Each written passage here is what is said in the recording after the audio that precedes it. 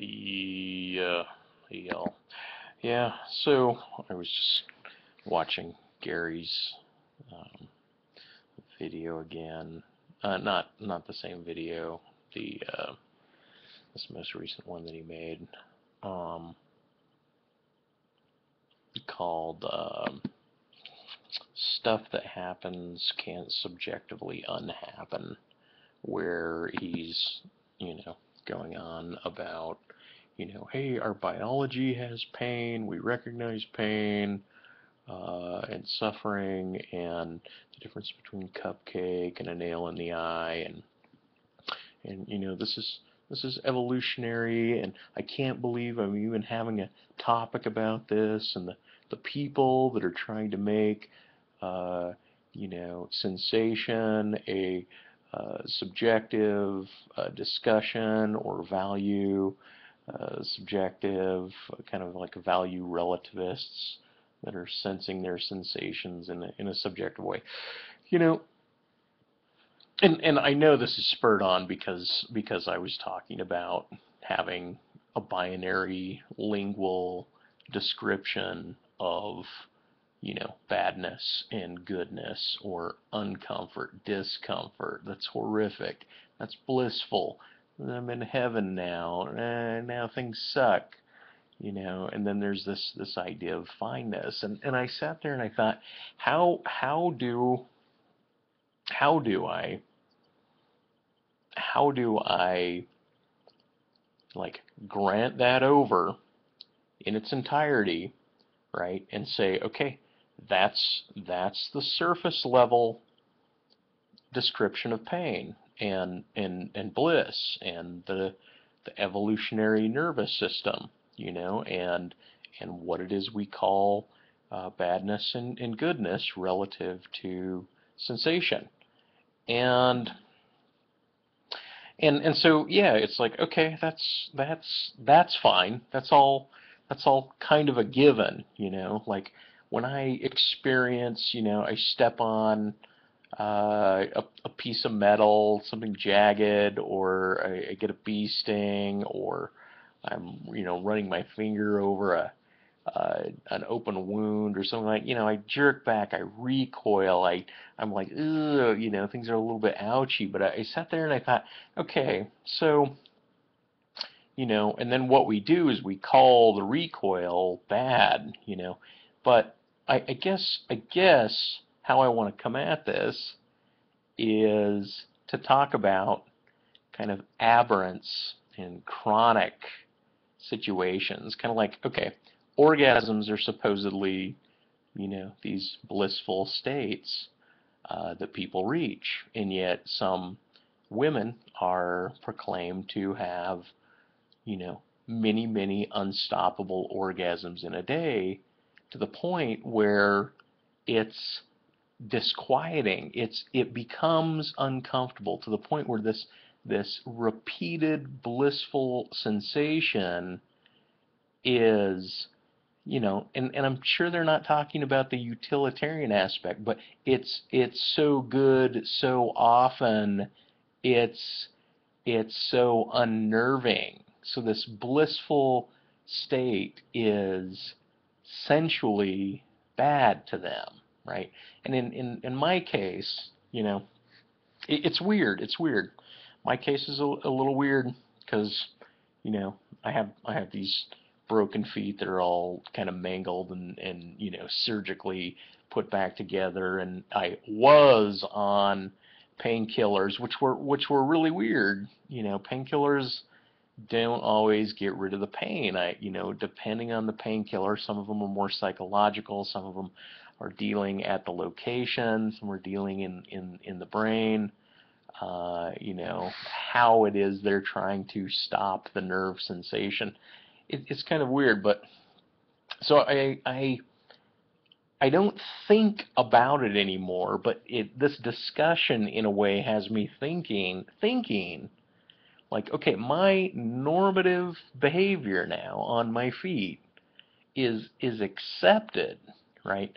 And I kind of, you know, when I think about this kind of discussion about sensation and description, then I'm like, okay, analyze your body's sensual happenings right now. And I guess I could say, when I'm thinking about it, there is this dull roar that is indefinite and always stemming from my feet. But I don't. I don't think about it, right? It's not really there. Like it's it's so constant that it's not it's not present. It's present when it's focused upon. And and so this this appears to be an actual experience that that I am going through that I get to discuss, right? And it is something that that's kind of odd. Now I had a friend growing up, this you know childhood friend, uh, his dad. Um, you know, anytime I would say, "Oh, I got a headache," or any of his kids would say, he'd say, "Well, I'm going to stomp on your foot, and maybe your headache will go away." Right? And I say that to illustrate the idea that kind of like, like, you know, it's like I was anticipating this friend coming over when I was like 12. And when I was 12, I'd have these like incredible stomach uh, just just sensations and pains that were crippling and I'd have to go to the toilet and I'd sit on the toilet for like two hours whether I was pooping or not and I'd have to hum to kind of like calm, vibrate the belly and calm it and get it through this this sensation, right? And um, and and and so it wouldn't buckle me over, and I could I could get back to normal, you know. And and it was just it was kind of funny because I was anticipating this friend showing up one time, and I hadn't seen him in so long, and I was so excited to see him, and I I was I was buckled over, and when I heard the door knock, I just got up and straightened up and just walked through the pain to my friend. It, you know, it was it was very peculiar, and it, it's it's kind of like it's kind of like at other times, you know, it's like wow, I even when I had this like really acute fucking like post surgery pain, someone would come over and they would tell me a joke and and for the moment that I was following their story, it's like the the pain, the sensation was no longer there, right? And so it's it's this it's this phenomena that words, stories, other symbols can transpose, take you away from your sensual supposed quote unquote whatever your sensation is. And I think that that is an is an interesting phenomenon. So so you know these these are two things. You know, number one, if if something is a chronic issue, whether it's orgasms or whether or not it's feet pain, and it's chronic, so chronic in fact that it becomes the normative base. So if somebody asks how that person is doing and they say, "Oh, I'm fine," They're talking like on this normal level, right? But this isn't comparable to what a normal healthy body is going through. Their their general notion of of pain or pleasure it has it has nothing to do with that. Right? And yet to them it becomes the new the new normal. So so it's almost like they have to reinvestigate and oh I I guess because I am sensing this that other people would think is either blissful or hell. I, you know, yeah, I, but I'm saying that I'm fine. You know, how, how peculiar is that? And what is to be said about that? And that's when I bring this up. It's like, wow, I just say I'm fine. You know, I, I work out at a, a, a gym and I say, you know, when my muscles are, are reaching this like really loud I can't go on, and it's burning, it's burning.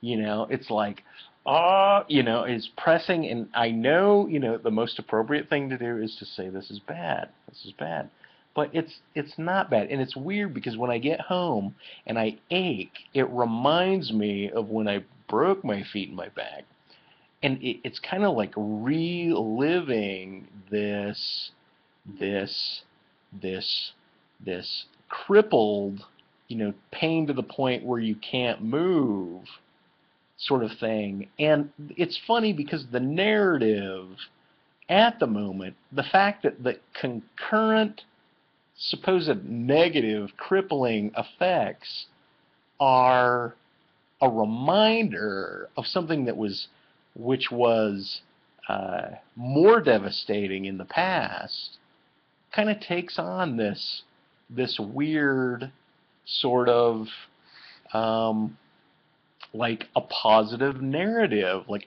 wow you know this is this is it's like a cartoon reenactment of something much worse.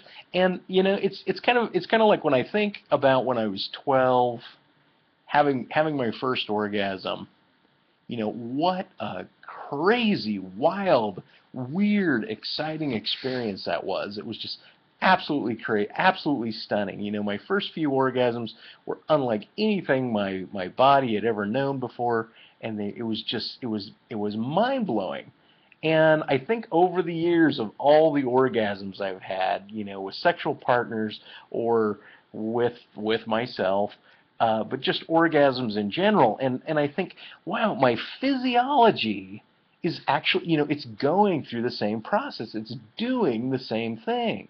And yet somehow this this context of experience and repetition and expectation and knowledge and all of this contextual meanness, mindness, experience kind of takes the the current orgasms and it it it it makes them so nothing, so tiny, so unimportant, you know? And it's kind of like that.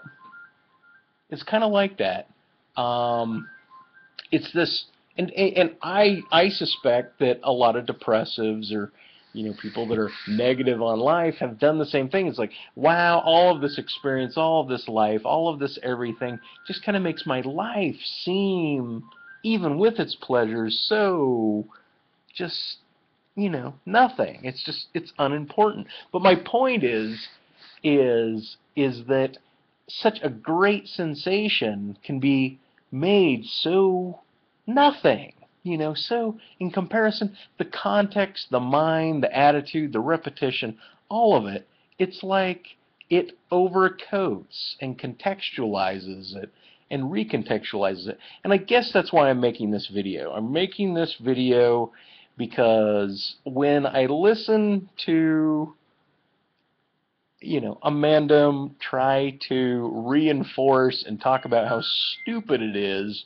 for people to try to nuance and speak of the nuance, uh, subtle differences, the quality, the quality of one's whole being and their approach and reapproach and navigation to the concurrence of physiological pain, the remembrance of it, the lingual transition, the the pulling away from it, kind of like in Fight Club, you know, he burns, he's got the chemical burn on his hand, and all of a sudden he's in a dream, and then he smacks himself and says, "Wake up! You know, you're missing the great thing, the greatest thing in your life." And he's referring to the greatest thing in his life to be facing awake the knowledge that what he's going through is this devastation.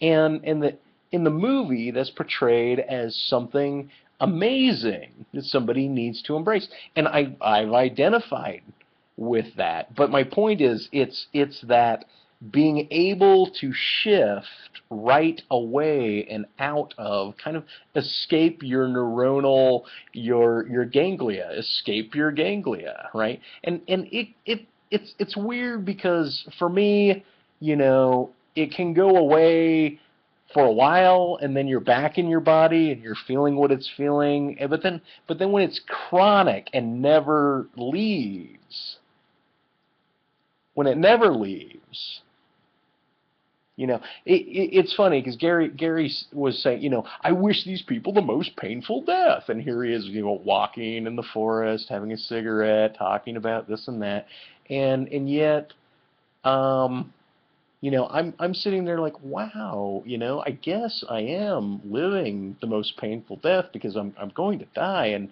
and here it is. While you know, from point now till I guess forever, I'm gonna have, you know, when I think about it, when I think like I guess that's not how feet used to feel or should feel, you know, that I will have this this affliction. And I'm not, you know, demeaning anyone else's affliction. I'm just saying you know, it's just kind of funny, you know, like I would go visit my my my great grandma and she'd be sitting in a chair and she could barely move, but you know, she was always had this kind of like happy to see you because she was happy to see you.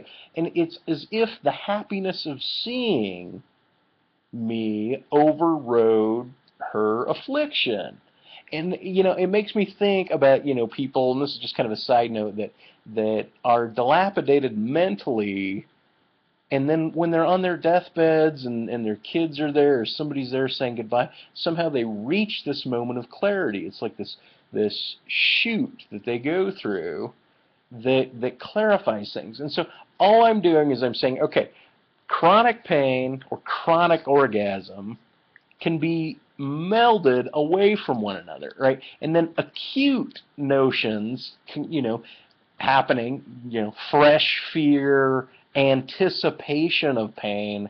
In a way, it, you know, that's the other thing. Anticipation of pain or anticipation of ecstasy is this weird phenomena in and of itself because it unnerves the body emotionally before there's anything. You know, people get more upset like knowing they have to go get a shot or they might get stung by a bee than actually getting stung by the bee or getting the shot. You know, it's a oh that wasn't so bad.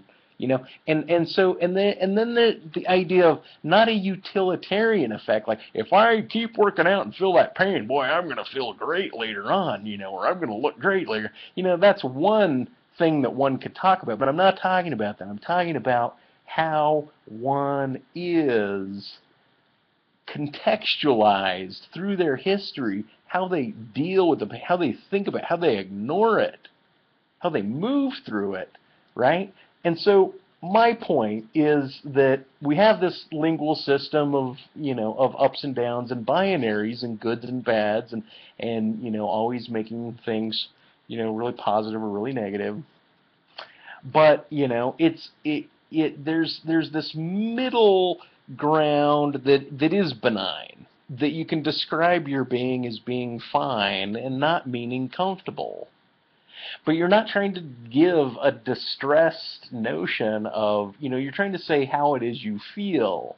And so we, we talk about it. But it's that's why poetry is so amazing because you can meander not just escape words, not just be, you know, move through them, in and out of them, beyond them, but you can you can work through description like, wow, my intestines were really bloated, and I felt this air ball move through them, and it was very unnerving, you know. Okay, unnerving being the first negative value word, unnerving, right? And so but it's it's also weird because I miss that that process because it reminds me of something else.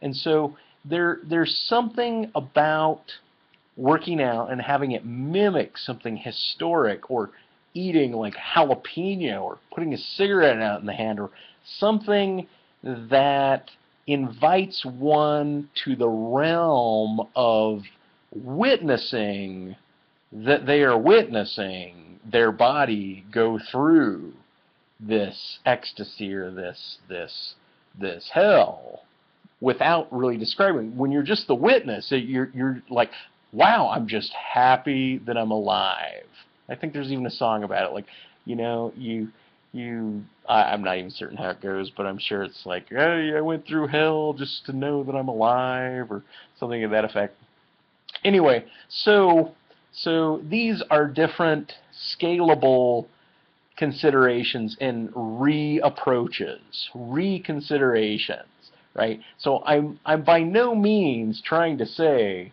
that describing the sensation as bad or this sensation as good is not a possibility and is not like a a recognized form of delivery. But you know, after so many years with so much experience, uh, both good and bad and neutral and otherwise, I keep pointing to the otherwise, and I keep coding the whole thing as one big witnessed uh, variance. You know, there's this variance of possibility of of experiencing things. You know, it's almost like if someone could say, you know, like, hey, I want to turn you 24 and allow you to live at the age of 24 forever, but you're always going to have a fucking, uh, you know, the sensation of a needle being under your big toe, big toenail,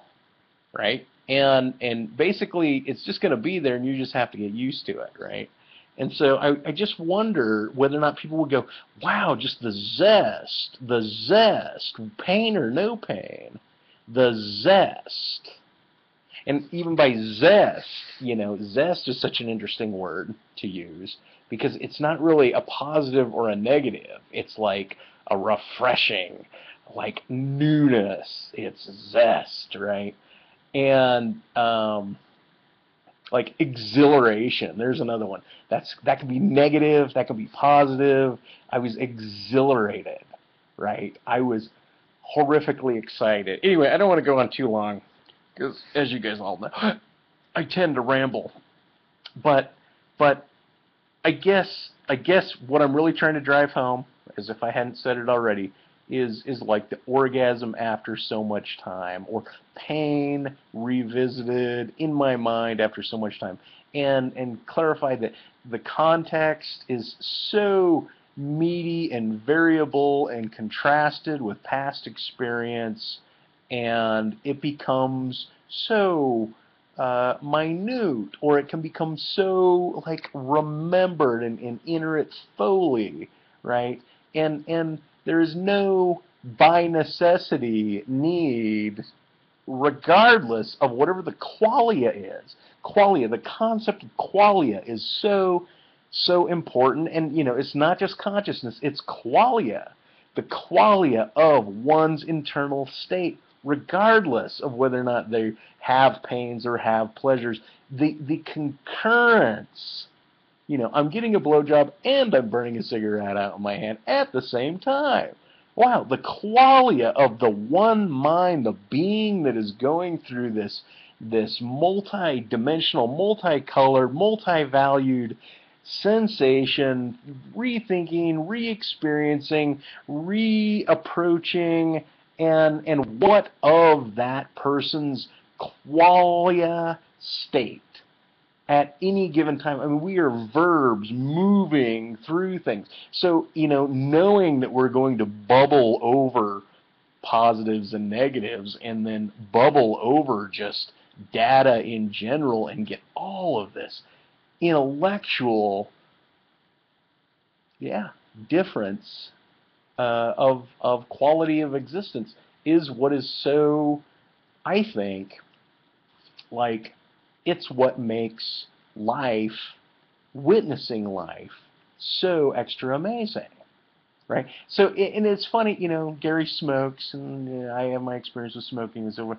But, you know, it's like my first cigarette burned my lungs, and then I quit for a while, and then when I came back, I it burned my lungs again. And, and I'm thinking, okay, so here's cigarette smokers, and after a while, they're they're smoking, and, and certainly the the the physics of the smoke going into the lungs should be burning their bodies, but somehow they've they become immune to it.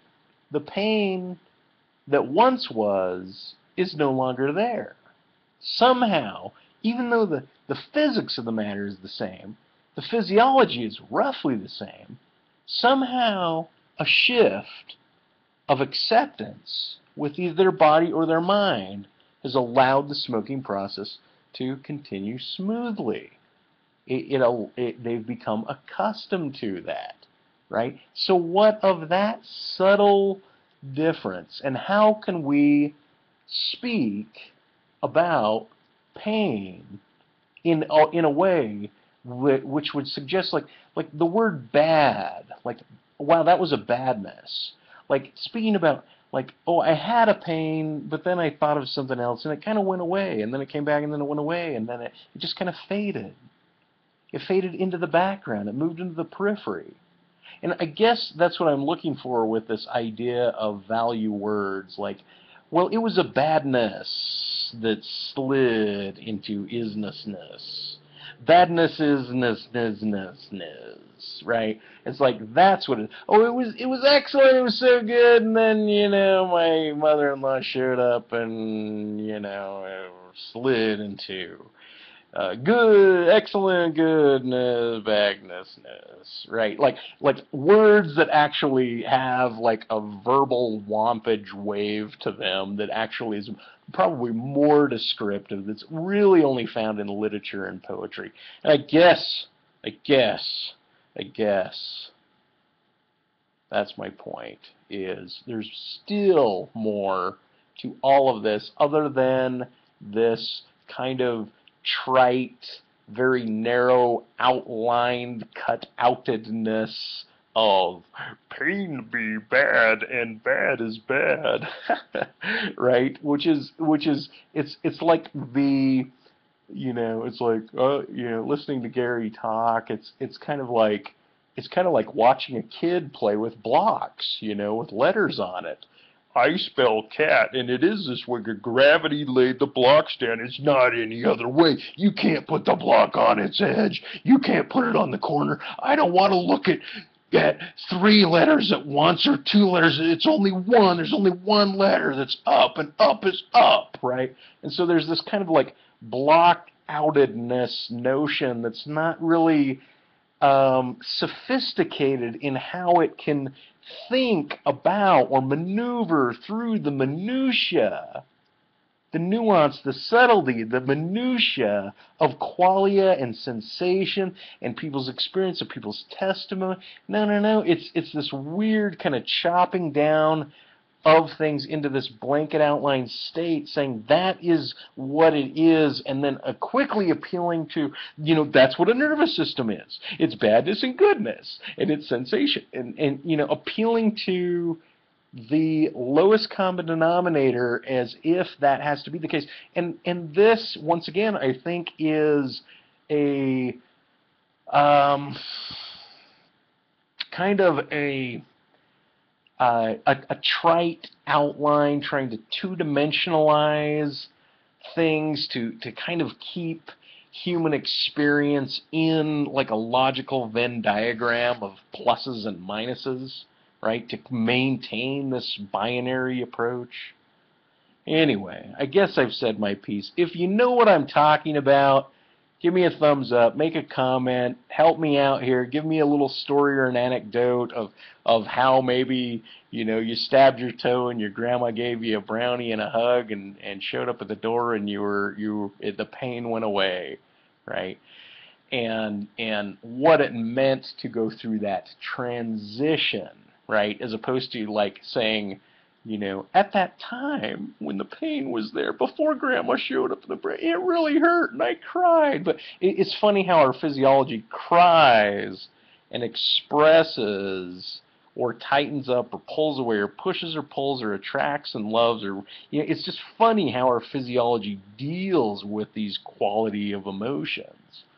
It, it, it's interesting. But but still to tritely narrow things into some outlined binary just just to try to like make human uh, variants of quality and qualia uh, um, form fit to uh, uh to logic for the sake of making you know further statements uh, in philosophy is is um, well, obviously that's what I'm against.